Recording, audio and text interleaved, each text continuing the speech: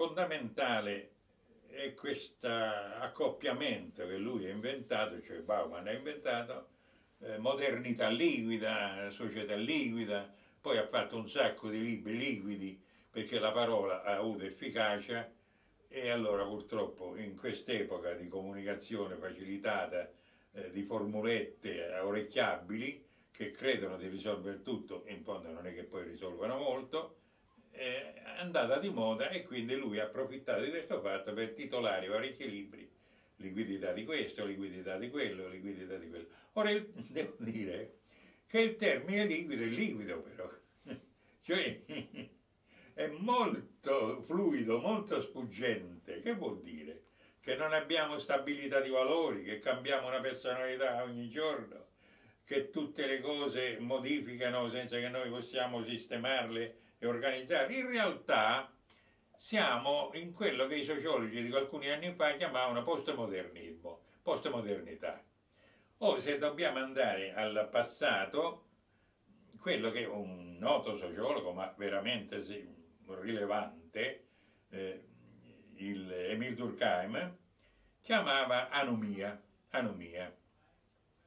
Ora, l'anomia è una cosa un, più profonda e meglio definibile è il conflitto tra due situazioni di cui uno, il soggetto, non riesce a venire a capo.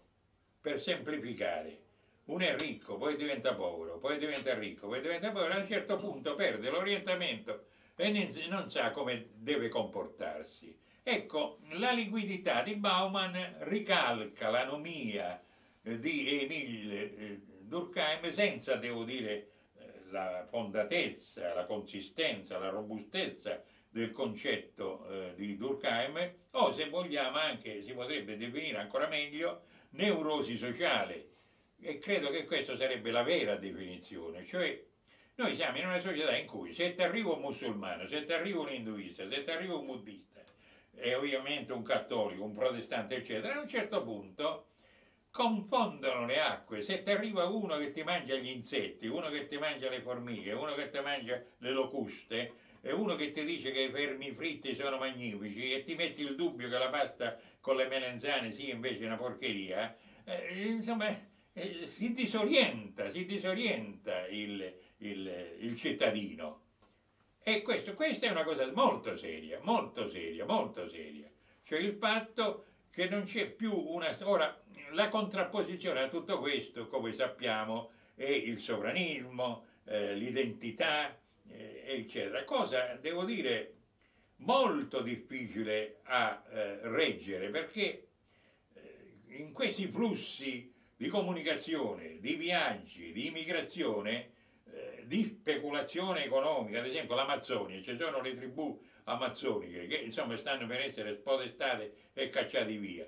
Alcuni, molti li difendono per difendere l'identità culturale, della loro lingua, dei loro costumi, eccetera, eccetera, più o meno come si faceva con gli indiani, eccetera. E è difficile, è difficile perché in un mondo eh, dinamicissimo, di grandi comunicazioni, di grandi viaggi, di grandi migrazioni, di grande impegno economico di sfruttamento di zone prima non sfruttate, mantenere, devo dire, l'identità è veramente difficile. Certo, bisogna anche dire che la soluzione di Bauman sarebbe la comunità, la comunità.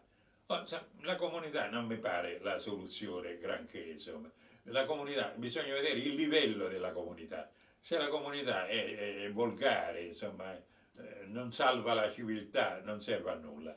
Io oh, propongo in vari miei libri che l'unica cosa da fare in questo momento è che si mantenga un'aristocrazia del pensiero il quale abbia la capacità attrattiva verso il popolo. Insomma, ora non è il caso di parlarne, però se non si mantiene un nucleo di grande qualità è inutile parlare di comunità.